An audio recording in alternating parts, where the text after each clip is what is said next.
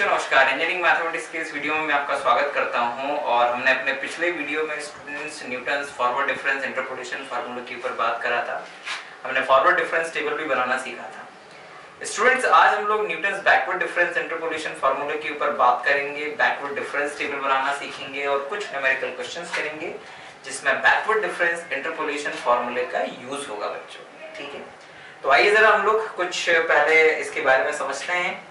पहले फॉर्मूला देखते हैं बैकवर्ड डिफरेंस टेबल बनाना सीखते हैं और देखते हैं कि कैसे बैकवर्ड डिफरेंस से टेबल हम लोगों को बैकवर्ड डिफरेंस इंटरपोलेशन फार्मूला में सब्स्टिट्यूट करनी है और कैसे उसका यूज़ करना है। तो यहाँ पर शुरुआत स्टूडेंट्स वैसे ही होगी, जैसे कि फॉरवर्ड डिफरेंस में हुई थी। मान लीजिए स्टूडेंट्स हमारे पास में कुछ डेटा पॉइंट्स हैं एक्स और वाई के लिए, y is equals to f x मान लीजिए हमारे पास x0 है x1 है x2 है x3 है x4 है एंड सो ऑन ठीक है ना? X5 तक मान लीजिए। और उसके करस्पॉन्डिंग y0 है y1 है y2 है y3 है y4 है एंड y5 है, ठीक? और हमें क्या करना है स्टूडेंट्स हमें इन्हीं x0 और x5 के बीच में किसी x वैल्यू के लिए fy या fx की वैल्यू फाइंड करनी है स्टूडेंट्स ठीक? तो उस वैल्यू को फाइंड करने के लिए हम लोग क्या करेंगे कि बैकवर्ड डिफरेंस इंटरपोलेशन फार्मूले का भी इस्तेमाल कर सकते हैं। तो बैकवर्ड डिफरेंस इंटरपोलेशन फॉर्मूला क्या होता है बच्चों? फॉर्मूला होता है, इसको थोड़ा और आगे बढ़ा लेते हैं। Suppose that this is x n and this is yn हाँ? और ये इक्वल इंटरवल डेटा है। तो तो न्यूटन्स बैकवर्ड डिफरेंस इंटरपोलेशन क्या होता है बच्चों? Newton's backward inter Newton's backward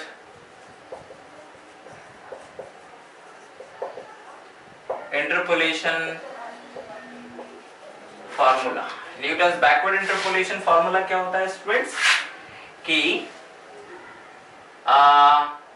y is equals to fx is equals to yn plus p backward difference of yn plus p p plus 1 upon factorial 2 del square backward difference second order backward difference of yn plus p p plus 1 p plus 2 upon factorial 3 del cube yn plus p p plus 1 p plus 2 p plus 3 upon factorial not 3 it's a factorial 4 del 4 yn and plus so on है ना इसी तरह से आगे बढ़ते से बढ़ बढ़ जाएँगे where where where where p is equals to x minus xn upon h यानी कि that is is equals to xn plus ph ठीक बच्चों? तो ये तो हमारा बच्चों p के लिए फॉर्मूला ओके और ध्यान दीजिएगा yn का मतलब है जो भी जो भी टेबल में y की लास्ट वैल्यू होगी वो। P हम लोग इस फॉर्मूले से निकाल लेंगे। नाउ ये del y zero del square y zero del cube y sorry del y n del square y n del cube y n del four y n so on ये निकालने के लिए बच्चों, हम लोगों को बैकवर्ड डिफरेंस टेबल बनानी होगी। और बैकवर्ड डिफरेंस टेबल कैसे बनाते हैं? उसे भी सीख लीजिए स्टूडेंट्स ठीक है ना कि बैकवर्ड डिफरेंस बनती कैसे है? तो यहाँ पर स्टूडेंट्स हम लोग देखेंगे formation of backward difference right formation of backward backward difference. Backward difference table तो ध्यान दीजिएगा बच्चों, मान लीजिए हमारे पास में x की और y की कुछ वैल्यूज़ हैं। है ना? हम छोटे से टेबल से समझ जाएँगे। मान लीजिए हमारे पास में x0 है x1 है x2 है x3 है और x4 है। और उनके करस्पॉन्डिंग y0 है y1 है y2 है y3 है एंड y4 है।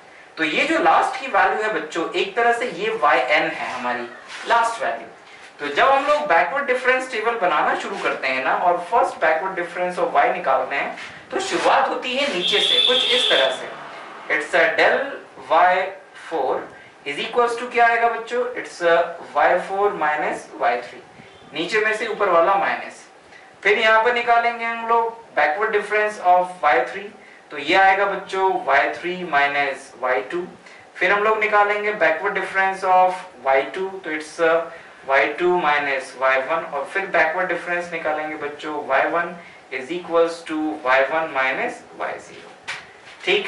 Now next it's a del square y तो यहाँ पर फिर नीचे से शुरुआत होगी बच्चों, ये आएगा del square del square y4 तो this is equals to this minus this फिर निकालेंगे बच्चों हम लोग डेल टू डेल 2 y3 तो ये क्या आएगा? दिस माइनस दिस नीचे से ऊपर वाला माइनस और फिर निकालेंगे डेल स्क्वायर वाई टू तो ये आएगा del y2 minus del y1 तो ये भी निकल आया।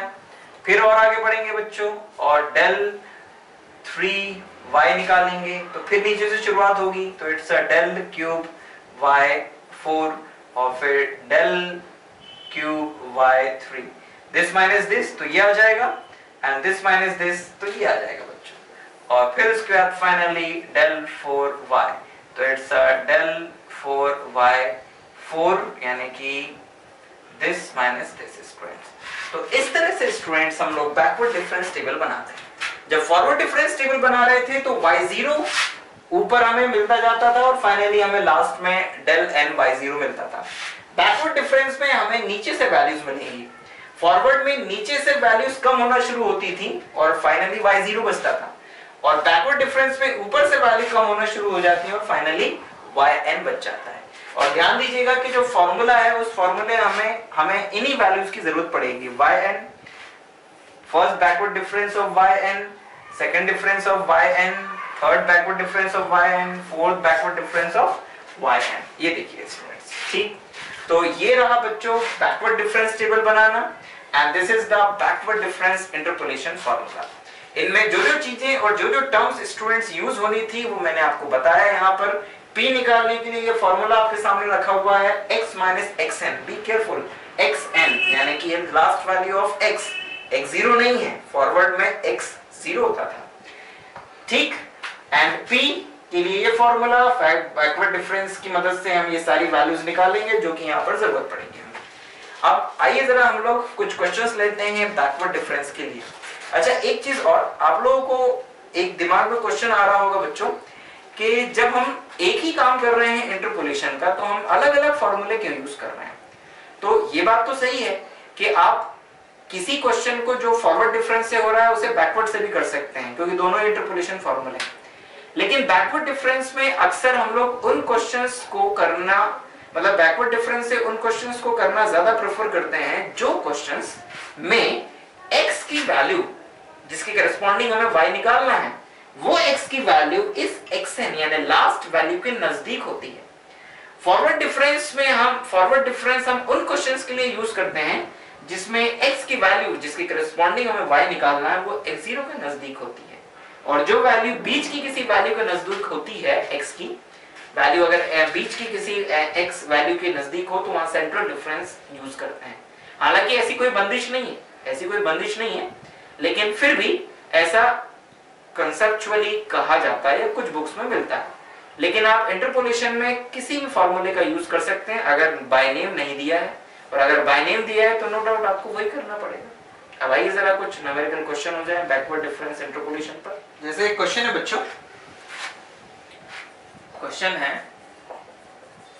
using Newton's backward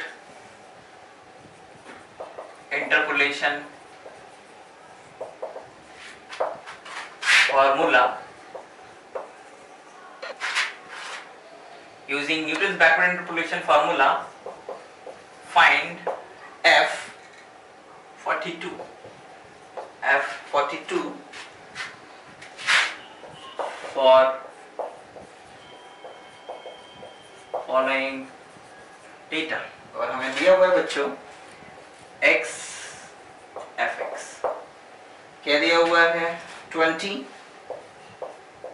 twenty five, thirty thirty five forty forty five right three fifty four three three two two nine one two six zero two thirty one two zero four right अब आइए जरा इस question को करते हैं, बच्चों। तो Newton backward difference interpretation से करना है। X is equal to 45 given है सबसे पहले हम लोग बैकवर्ड डिफरेंस टेबल बनाएँगे solution the backward the backward difference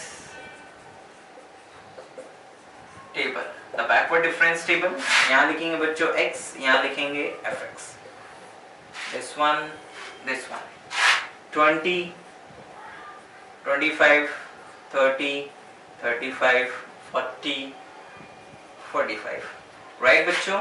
ये है हमारा क्या?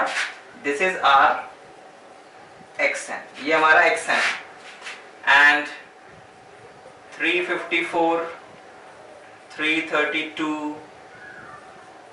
291 260 231 एंड 204 ये जो 204 है बच्चों इट्स आर वाई एन 204 अब निकालिए बच्चों फ़र्स्ट फॉरवर्ड डिफरेंस ठीक?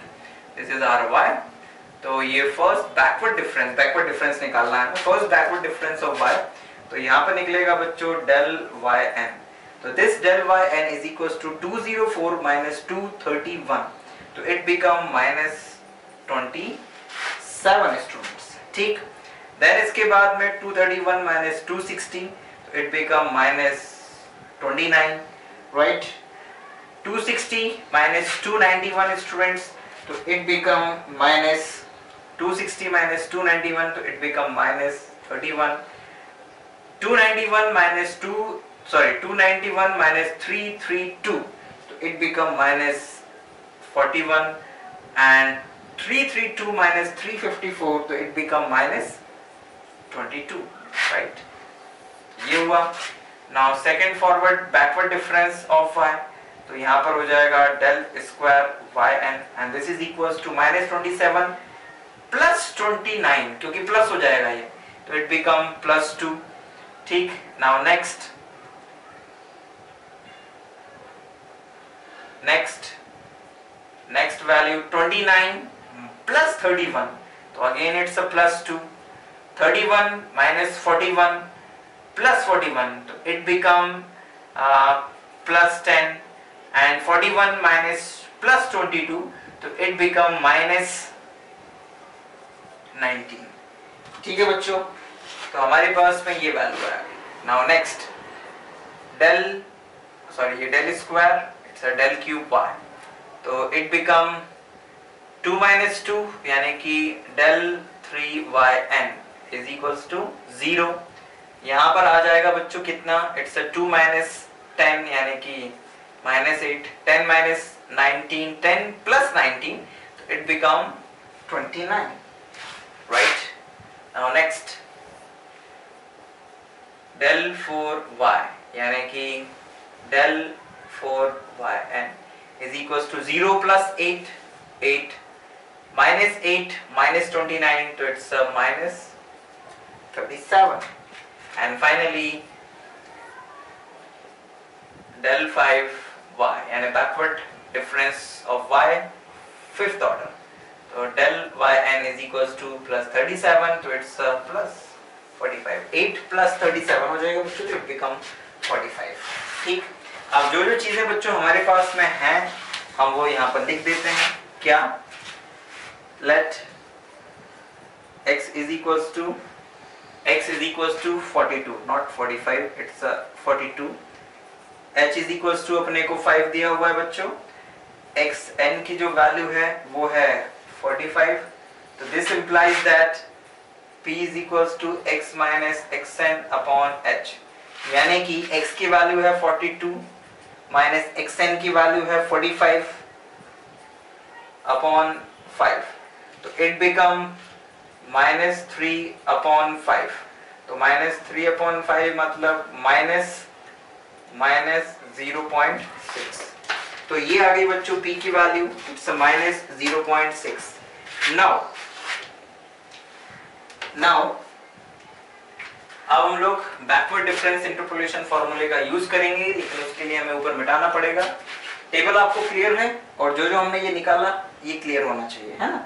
X 42 इसके करस्पॉन्डिंग हमें y फाइंड करना है। H 5 common difference xn last value of x, p, x minus xn upon h.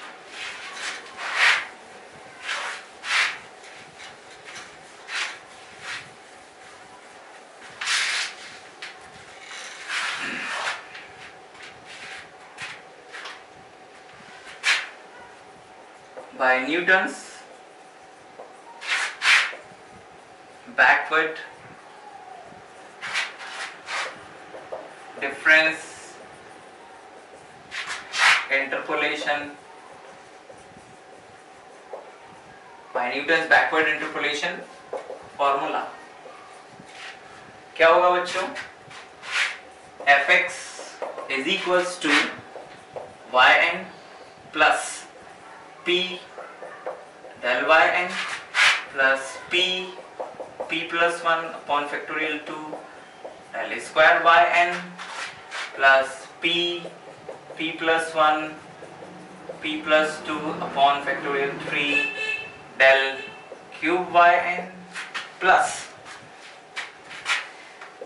p p plus 1 p plus 2 p plus 3 upon factorial 4 del 4 yn and plus p p plus 1 p plus 2 p plus 3 p plus 4 upon factorial 5 del 5 yn right del five by n तक की हमारे पास table में values हैं तो इसलिए हमने formula भी वहीं तक लिखा अब इसमें सारी वैल्यू सब्स्टिट्यूट करेंगे बच्चों। तो आपको मिलेगा f f 42 is equals to y n y n मतलब लास्ट वैल्यू ऑफ़ वाई कितनी है? इट्स अ 204 प्लस p की वैल्यू कितनी है? पॉइंट सिक्स तो del y n del y n minus twenty seven plus p p plus one यानी कि point six और प्लस वन करेंगे तो it's plus zero point four divide by factorial two यानी कि टू और डेल स्क्वायर वाई एन की value है बच्चों टू ठीक? प्लस अब क्योंकि डेल क्यूब वाई एन की वैल्यू ज़ीरो है बच्चों तो ये वाला टर्म कंप्लीटली ज़ीरो हो जाएगा तो उसे ज़ीरो कर देते हैं। और नेक्स्ट आएगा बच्चों डेल फोर वाई एन के लिए minus zero point six point four one point four and two point four divide by factorial four, यानी कि ट्वेंटी फोर और डेल फोर वाई एन की वैल्यू है एट तो ये eight plus plus minus zero point six it's minus zero point six point four one point four 2.4 3.4 and divide में factorial 5 मतलब कि 120 इनटू में del y and del 5 y इनकी value आई है 45 तो ये सारी वैल्यूज़ बच्चों हम लोगों ने यहाँ पर सब्स्टिट्यूट करी, जो हमें गिवन थी, या जो हम लोगों ने टेबल की मदद से निकाला। और जब आप इस पूरे के पूरे एक्सप्रेशन को कैलकुलेट कर लेंगे बच्चों, ठीक तो आप लोगों को फाइनली जो आंसर मिलने वाला है, वो आंसर होगा टू वन नाइन बच्चों। This become two one nine यानी कि f forty two is equal to आया टू वन नाइन तो आई होप स्टूडेंट्स आप लोगों को बैकवर्ड डिफरेंस इंटरपोलेशन फॉर्मूले की मदद से किसी भी क्वेश्चन को कैसे सॉल्व किया जाता है, आप समझ पाए होंगे स्टूडेंट्स ठीक? अब एक क्वेश्चन में आप लोगों को एज अ होमवर्क दे देता हूँ, उसे आप लोग करिएगा इसी फॉर्मूले की मदद से. क्वेश्चन है from the following table following table, find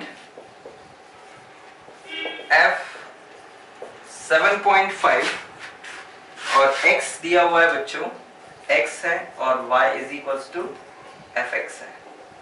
x है बच्चों one two three four five seven one two one two three four five six seven eight right और इसकी करस्पॉन्डिंग वैल्यू है one eight twenty seven sixty four